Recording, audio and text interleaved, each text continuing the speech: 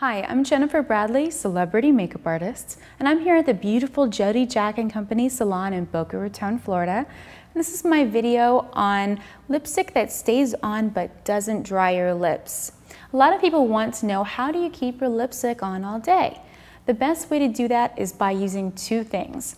A really great pencil and a beautiful gloss that's very moisturizing. If you use a long-lasting lipstick, you're going to get a very dry lip.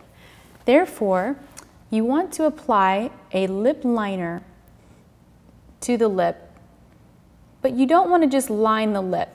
You want to apply it all over the lip using the, the liner sideways in sideways strokes. The reason why you want to do this is because lip liner has way more pigment than an actual lipstick. Lip liners can be very dry, but they will adhere to the lip better and they're going to give you more color to your lips.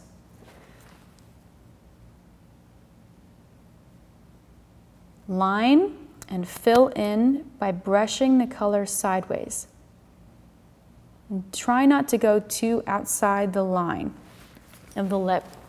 This will also prevent you from having a very obvious line later on during the day. The next thing you're going to want to use is a very moisturizing lip gloss, something that is going to adhere to the lip. This is going to adhere to the lip liner color. You're going to apply this all over, preferably with a brush for the most precise application. Apply it over where you applied the lip liner. This is going to create a beautiful color, something young looking, moisturized, and you're going to have full and beautiful lips that are going to stay on all day that are also moisturized. This is my video on lipstick that stays on but doesn't dry your lips. I'm Jennifer Bradley and thank you for watching.